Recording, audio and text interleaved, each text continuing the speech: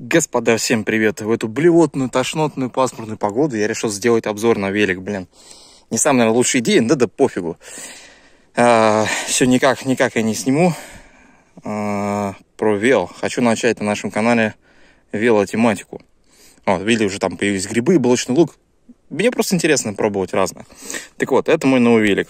И пока меня не съели комары, фу, комары, видите, просто кошмар кругом комары. Давайте что-нибудь про него поговорим.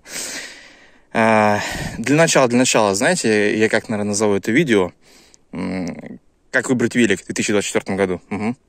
Вот. Вы любите такие видосы, как выбрать что-то, как сделать что-то, как ловить так-то, да, ну, сами понимаете, поэтому давайте сделаем, как выбрать велик. Вот. И э, давайте я сразу немножко вас сориентирую по бюджетам, чтобы вы понимали. Вот этот велик стоит 162 тысячи. Ну, рекомендованная розничная цена его. Вот. Возможно, вы сможете купить его где-то там подешевле с какой-то скидочкой и так далее. Как бы я это не отметаю, но его розничная цена 162 тысячи. И это без учета того, что здесь контакты поставил новые с ПДшки. Это еще, э, ну, где-то 7 тысяч. Вот. Держатель, ну, это там копейки 500 рублей. Э, обклеил пленкой, значит, низ защиту цепи и так далее, и так далее. Ну, все эти мелочевки. Грубо говоря, у меня на велотематику ушло порядка 200, наверное, 10 тысяч плюс-минус, там, смазки, шампунь и всякая фигня. У меня, короче, был старый хардтейл, то есть без заднего амортизатора велик. На 26 колесах я решил себе взять найнер и двухподвес. Почему? Потому что вот, ну, тут не видно, не очень хорошее место, чтобы вам показать. Просто я так вдалеке от всех, чтобы никто не мешал. Проблема – это корни. Очень много корней у меня здесь. И вот на двухподвесе мне наконец-то нормально. То есть, наконец, вкручиваю, мне все окей, окей, прям, грубо говоря. Фу, блин, комары едят. Не догадался, что будут есть комары. Поэтому я весь обзор сейчас буду чертыхаться. А, так, давайте для начала, короче, один момент. Я хочу просто поговорить по поводу того, то есть меня друг постоянно спрашивает, типа, Макс, вот у меня есть на велик 15 тысяч, мне надо купить нормальный велик. Там. Даже, знаете, он не так, по вопрос задавал. Привет, Серега. Вопрос у него был так. Мне надо купить горный велик, но не чтобы гонять на соревнованиях. Ну, я такой скид, ну хорошо, вот за 80 тысяч нормально, типа, бери, чувак. Он такой, не, не, слушай, ты что, дурак, мне же не на соревнования гонять. Так вот, вот этот велик стоит 162 тысячи. Это тоже не для соревнований, ребят. Это просто, э, ну, для тренировок сойдет. Я так это вижу. То есть, в принципе, любительский кросс-кантри, в нем заехать можно, я думаю. Но не более. А, потому что если вы пойдете на какие-то серьезные соревнования, вас просто там растопчут и разничтожат великами, которые стоят по миллиону. Ну, это если вашу физуху в учет не брать, то есть Там будут тормоза, которые лучше тормозят. Там будут, э, допустим, 10 x стоит переключатель. Я пока не пробую в гору их переключать. А, но у меня на предыдущем стоит SRAM X1. Ой, господи, блин, жрут меня. X9, пардон. Меня укусили в самый ответственный момент. Вот. И там, короче, там в гору можно переключать. Но на младших моделях, по-моему, там э, будет, короче, жуткие проблемы с тем, что цепь может порваться, грубо говоря. Если я правильно помню, что я давно уже на X9 катался. То есть трансмиссия здесь SRAM, тормоза SRAM. Это не Shimano, ребят. Но я не люблю, ну, не то, что не люблю Shimano. В велотематике, особенно в МТБ, ну, маунтинбайке, я как-то больше на SRAM. Хотя педали у меня Shimano. Вот такой вот я, короче, лицемер. не знаю. Ну. Ой, комаров все больше становится, поэтому вы меня очень реально простите за комаров, но вот как-то так. Смотрите, я по поводу бюджета вас ориентирую. Если э, зависит от вашей цели. Если ваша цель просто ездить по дороге, иногда заехать в лес, на рыбалку, например, выходить, ездить, да, тогда у вас э, бюджет на велик, любой вообще, абсолютно, любой велосипед для этого подойдет. Вот если вы не планируете как-то там переключаться, там, ездить э, с нормальной скоростью, как э, там, я вот бывший велогонщик, ну как, не чемпион, конечно, какой-то, но просто вот, любил э, участвовать, гонять в соревнованиях по кросс-кантри. Вот, даже в секцию ходил и все прочее. Ну, то есть, прям какие-то не знаю, слорево разные, туда-сюда, любительские, нелюбительские, там, сами понимаете, в общем. Э, Еще раз, мне до чемпиона мне не хватило денег в основном. Вот, поэтому вот сейчас я могу что-то такое приобрести, а раньше не мог. Ну, не суть. Суть в чем? Если вы тренированный человек, если вы прям катаетесь на велике в качестве э, спорта, в качестве прям, ну, серьезного вкручивания, то есть на контактах, с нормальным каденсом, с пульсом там 160-170, если вы летите прям. То есть я вот здесь поеду, 35-40 км в час. Ну, может, не 40, ладно, ну, 30-35, ладно, плюс-минус. То есть я прям буду вкручивать, втапливать, как э, на мотоцикле практически. Ну вот. И это для меня нормально. То есть я не могу ездить медленно, просто у меня в голове так заточено уже за всю жизнь. Вот.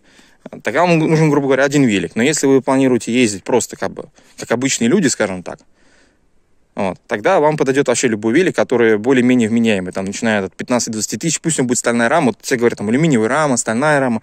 Ребят, если вам не нужно побеждать, если вам не нужно тренировки какие-то проводить э, жесткие, вам вообще подойдет все что угодно практически. Ну, так вот это устроено. Вот. Э, понятно, что износ будет ну, быстрее на каких-то там э, вещах, но если вы на велике катаетесь несколько раз там, в неделю, я думаю, даже велик за 15-20 тысяч, на любых колесах, на 26-х, там, на этих, на любых, он вам подойдет. Просто у вас нет цели э, давать серьезную нагрузку велосипеду. Но если вы, ребят, хотите в спорт, если прям хотите тренироваться, допустим, вы родитель, хотите купить своему ребенку велик, вот, вам сразу следует смотреть э, что-нибудь, где на компонентах написано SRAM или Shimano. Вот. И это уже будет совершенно другие э, цены. Вот. Допустим, я искал себе двухподвес. Вот это самый бюджетный, адекватный двухподвес, который выдерживает тренировки. Вот я на нем уже откатал ну, одну тренировку. Вот. Э, и он выдерживает, он отлично подходит для моих этих. Мне, в принципе, ну, я не знаю, трансмиссию, может быть, потом, может быть, поменять. Это SRAM SX, это такая одна из самых низших у SRAM. Поставить туда GX, например, который на два круга выше. То есть там NX есть, потом GX. Вот X, X1, я уже думаю, смысла ставить нет на алюминиевую раму, но тем не менее. Вот. В общем, вы просто должны понять, что чем больше вы спорт, тем э, надо больше апать денег в эту тему. То есть вот, если ищете, еще раз, если ваша задача просто купить велик э, спортивный, которым будете как фитнесом заниматься, кататься, прям вкручивать, берите хардтейл, а, потому что хардтейл вы сможете, ну, тысяч за 60, за 70 найти. В крайнем случае, берите э, тот, на котором Microshift написано. Кстати, вот Titan Racing отличные велики. Про это сейчас тоже скажу. Вот. Microshift ы потом меняете на какой-нибудь там э, бюджетный Shimano или на вот SRAM.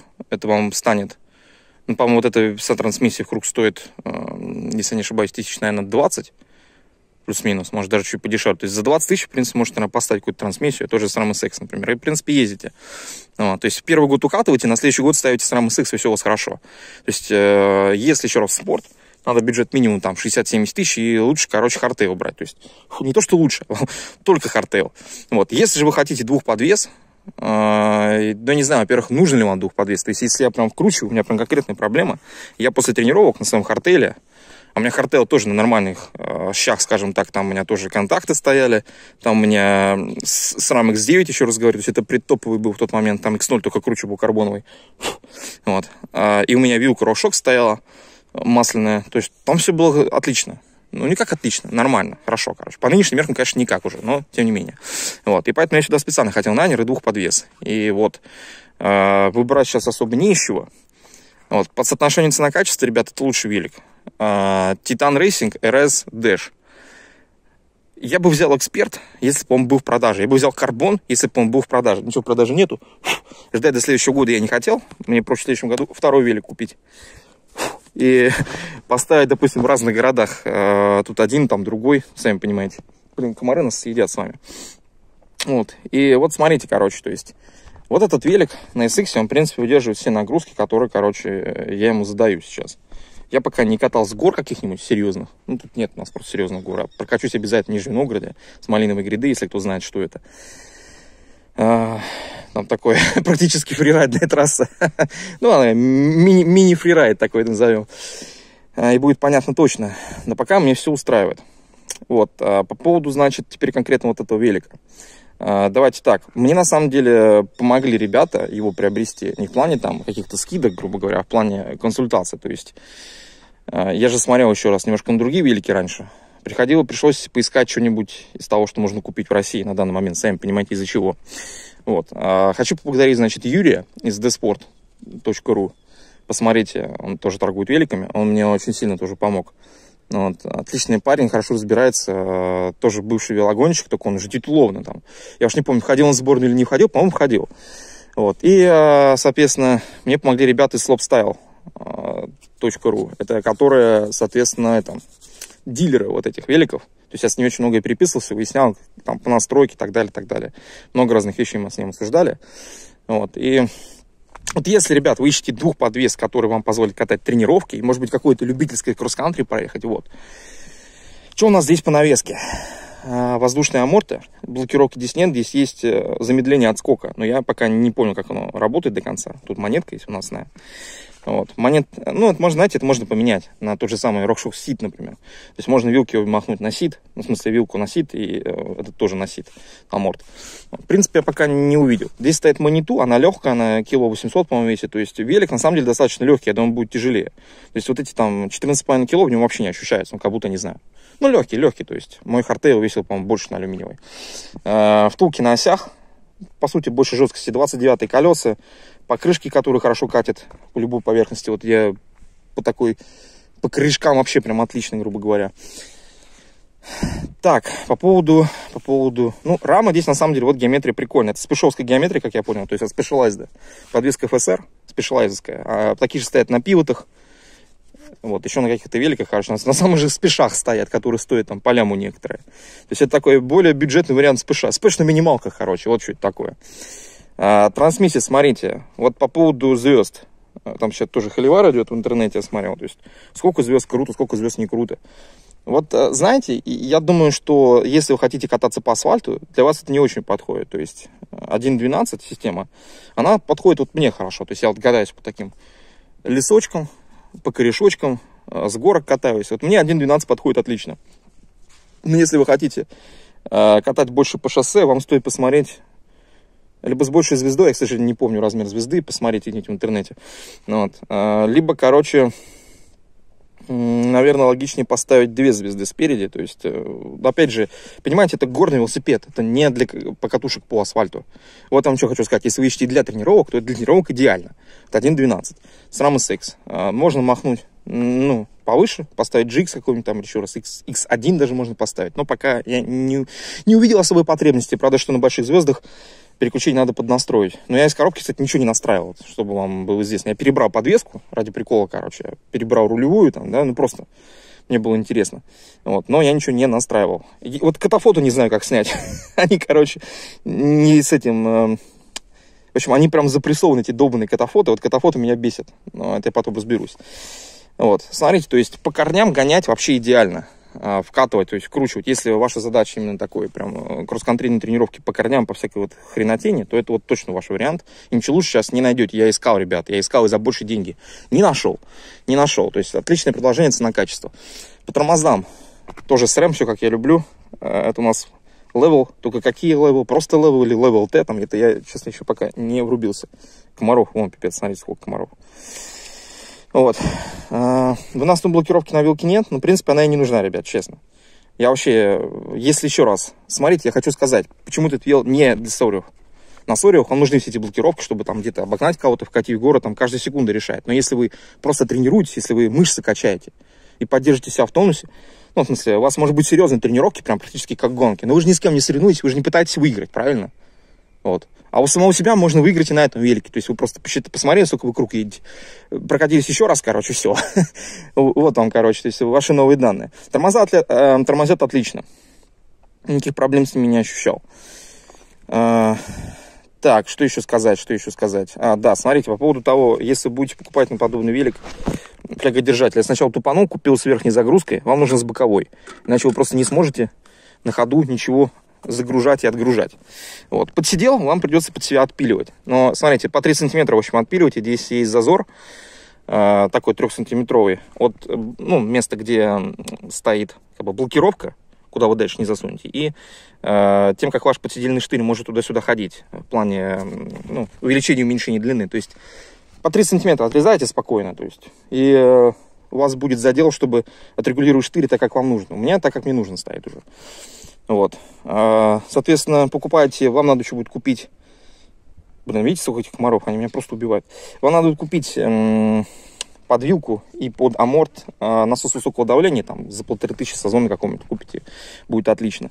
Э, внутренняя проводка тросов не гремит. Я не знаю, там, что вы писали, типа, гремит, не гремит. Но она, вот я еду, она не гремит. По корням, конечно, гремит все, но, блин, это нормально. Вот, э, как раз из-за того, что цепь будет греметь по корням, вам нужна вот такая защита, тоже 4 рублей 500. Вот что еще сказать? Отличный вел, короче, ребят. А, я вам сниму еще подробный обзор на него, там, да, с покатушками и так далее. Объясню, что да как. По тормозам, там, по всему прокатимся. Но это такой первоначальный просто видос. Я давно хотел его снять, но что-то мне не позволяло то погода, то одно, то другое. Вот. В общем, ребят, если вам нужен велик а, для тренировок кросс-контрийных, во, за глаза, поверьте.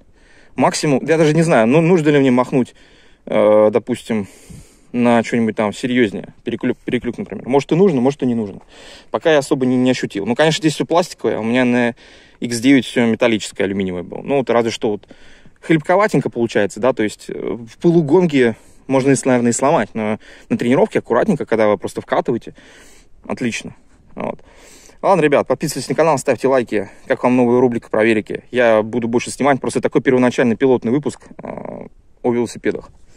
Вот. Да, и контактные педали, кстати, тоже можете купить, если вам нужно. И я еще раз обклеил пленкой. Вот здесь обклеил, значит, э, ноги, ноги обклеил, вилки обклеил. А, шутуны еще тут обклеил немножко, чтобы не стирались. Все, ребят, э, спасибо, значит, еще раз Слопстайлу и Деспорту Юрию э, за помощь. Фу. Потом еще поговорим отдельно поподробнее, но пока, боюсь, у меня на телефоне сейчас кончится память. Все, подписывайтесь на канал, увидимся в следующих видео. Всем пока.